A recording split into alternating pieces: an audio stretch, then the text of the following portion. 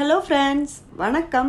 இன்றைக்கி நம்ம சேனலில் பார்க்க போகிறது எக் வெஜிடபிள் ஸ்பை நம்ம டெய்லி என்ன டிஃபன் பண்ணணும்னு யோசிச்சுட்ருப்போம். அந்த சமயத்தில் வந்து எக்கு மை வெஜிடபிள்ஸ் அண்ட் மைதா ஃப்ளார் இருந்தால் இந்த மாதிரி செஞ்சு பாருங்கள் நான் வந்து மூணு எக் எடுத்திருக்கேன். அதை வந்து நல்லா அடிச்சுக்கணும். எக் ஒயிட் அண்ட் எல்லோ ரெண்டுமே தான் சேர்த்து தான் நல்லா அடிச்சுக்கோங்க. அதுக்கப்புறம் வந்து நான் மைதா ஃப்ளார் எடுத்திருக்கிறேன். நீங்கள் வந்து கோதுமை மாவு வேணால் எடுத்துக்கலாம். ரெண்டையும் வந்து நல்லா கட்டி இல்லாமல் அடிச்சுக்கணும்.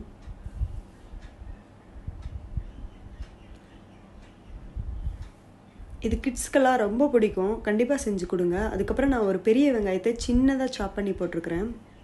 ஆனியன் வந்து ரொம்ப சின்னதாக ஃபைனாக சாப் பண்ணியிருக்கணும். அடுத்து வந்து கேரட் வந்து சின்னதாக துருவி போட்டிருக்கிறேன். அதுக்கப்புறம் வந்து நான் வந்து பீன்ஸ் எடுத்திருக்கேன். அதை சின்னதாக சாப் பண்ணி போட்டிருக்கேன். அடுத்து வந்து நான் ரெண்டு பொட்டேட்டோவை தோல் சீவிட்டு சின்னதாக சாப் பண்ணி போட்டிருக்கிறேன். எல்லா வெஜிடபிள்ஸும் சின்னதாக கட் பண்ணியிருக்கணும். அப்புறம் தேவையான அளவு சால்ட்டு அப்புறம் வந்து பெப்பர் தூள் காரத்துக்கு ஏற்றபடி ஒரேகானோ லீக்ஸ் வேணுன்னா போட்டுக்கோங்க. இல்லை சில்லி ஃப்ளேக்ஸ் வேணுனாலும் போட்டுக்கலாம். இப்போ நல்லா மிக்ஸ் பண்ணிக்கணும். உங்களுக்கு தேவைன்னா கொஞ்சம் மில்க்கு கூட ஆட் பண்ணிக்கலாம். இப்போ நல்லா மிக்ஸ் ஆயிடுச்சு உங்களுக்கு வந்து அந்த ஒரு மாதிரி பேஸ்ட் மாதிரி ஒரு திக்காக வரணும். அந்த பதம் பத்தலைனா மில்க் ஆட் பண்ணிக்கோங்க. இது வந்து ஓவன்லேயே வைக்கலாம். நான் வந்து பாத்திரத்தில் எப்படி பண்ணுறதுன்னு சொல்கிறேன் ஒரு நான்ஸ்டிக் பாத்திரம் இல்லைனா அடிக்கனமான பாத்திரம் எடுத்துகிட்டு நெய் இல்லைனா பட்டர் இல்லைனா ஆயில் போட்டுட்டு நல்லா ஃபுல்லாக ஈவனாக தடவி விட்டுக்கணும். அடுப்பை நல்லா சிம்மில் வச்சுட்டு நம்ம மிக்ஸ் பண்ண கலவையை ஊற்றிக்கணும்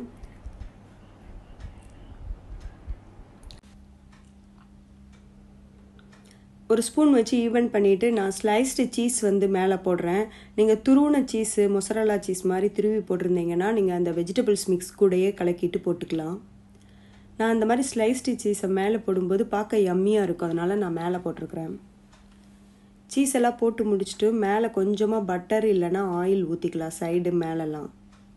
நெய் வேணுனாலும் ஊற்றிக்கலாம் ஊற்றிட்டு நம்ம ஒரு லாக் போட்டு மூடி வச்சுக்கலாம். அந்த மூடியில் இந்த மாதிரி ஹோல் உள்ள மூடினா ஒரு சின்ன பேப்பர் இல்லைன்னா எதாவது வச்சு லாக் பண்ணிக்கணும். கொஞ்சம் நேரம் ஆன உடனே டூத் பிக்கு இல்லைன்னா வந்து ஒரு நைஃப் வச்சு உள்ளே குத்தி பாருங்கள் ஒட்டாமல் வந்துச்சுன்னா வெந்துருச்சுன்னு அர்த்தம். நீங்கள் மேலே சீஸ் போடலைன்னா இல்லைன்னா சீஸே போடலைன்னா நீங்கள் வந்து இதை திருப்பி போட்டுக்கலாம்.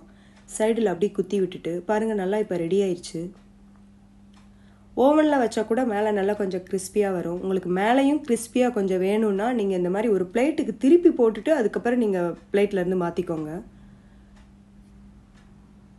பாருங்கள் இப்போ சூப்பராக ரெடி ஆயிடுச்சு நான் மேலே சீஸ் போட்டிருக்கறதுனால நான் திருப்பி போடல இப்படியே வச்சுட்டு. இப்போ வந்து ஒரு பீஸா கட்டார் இல்லைன்னா இந்த மாதிரி பொருள் வச்சு கட் பண்ணிக்கோங்க. இட்லி தோசைன்னு போர் அடிக்கிற சமயத்தில் கிட்ஸுக்கு இந்த மாதிரி பண்ணி கொடுங்க. சூப்பராக இருக்கும்.